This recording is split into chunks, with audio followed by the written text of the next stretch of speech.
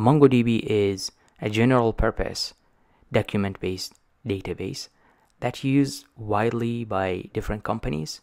I used it myself to handle millions of records and it scales really well. Um, it has a format like the document format similar to JSON, which is called BSON, binary JSON. Now, in, instead of us managing the nodes installed locally, I will use um, a cloud-based service offered by MongoDB called MongoDB Atlas. And that will make it much easier and more realistic. And there is a free tier that we will use. Um, I think it's up to one gig. Um, so go ahead and you can sign up for that for free and so that we can set up the cluster and the next. Okay, so now after signing up for the MongoDB Atlas, we are we see this dashboard. Now, in the the first thing is the projects. So, um, according in this case, we have project zero. And the next thing we need is to create cluster. The cluster will have the the nodes like the MongoDB servers where each node will have the MongoDB instance. Um, normally it has three nodes as a replica set. So let's go ahead and click on the build a cluster to create our first cluster here.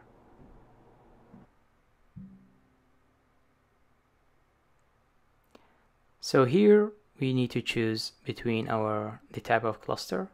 We'll go with the free one, the shared clusters. So click on the create cluster now here we need to decide where which cloud provider and region we need to to provision this cluster. Now it supports different cloud providers. For me, I will go with the AWS, and uh, as far as the or the origin, the region, I will go with the Oregon. And uh, here, like you can see, the different cluster type uh, information like the RAM and and uh, etc. So now we can create a cluster. It will take a few minutes until it provision the cluster for us. Um, now, if you look here on the current dashboard for the clusters, um, the current cluster name is cluster 0. You can see it has this cluster tier information. The region is in AWS and the type which is like a three a replica set that has three nodes. And uh, this is all within the free tier that we created. Now our cluster provisioned successfully. This is uh, the updated dashboard. It has uh, charts about the operations number of connections the the size of the documents this is more detailed view about the cluster with the nodes that we have, the three nodes available. Um, next thing, now we need to enable access to this cluster from outside through our application. Now, in order to do that, we need to create a username and password. So go ahead and click on the button. Here we will create a new database user um, the type here we will choose the password. Now for the uh, for the password authentication just enter the the uh, the username and password. And then from the drop down we need to choose the privileges. So we have different choices. Now probably a better choice is to create a read to a specific database. For here I'll just go with the read and write to any database for simplicity I'm not going to create one since I already have this username password created earlier.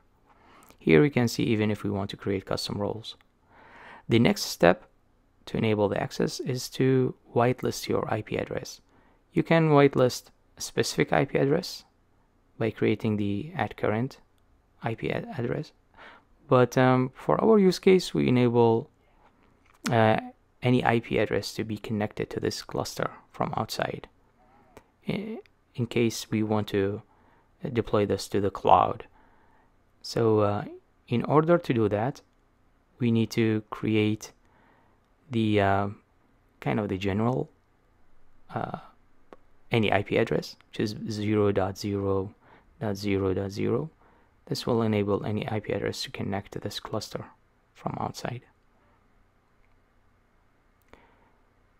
You can he, you even make it like temporary to be deleted afterwards. Here we can create that. Uh, again, I already created this, whitelisted this IP address. So uh, now we should be able to connect our application to this cluster.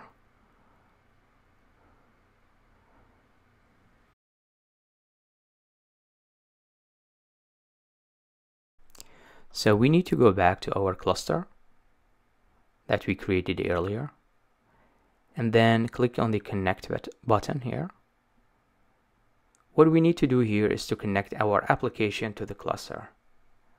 So uh, we have a couple of choices here, but what we need to do here is to click on the connect your application since we we have a Node.js application um, now there are like different types of driver that it provides.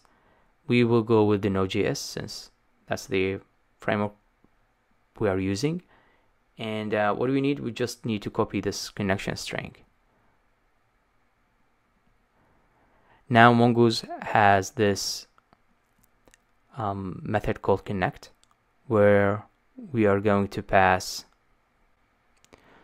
so we will use the mongoose connect method and we will pass the connections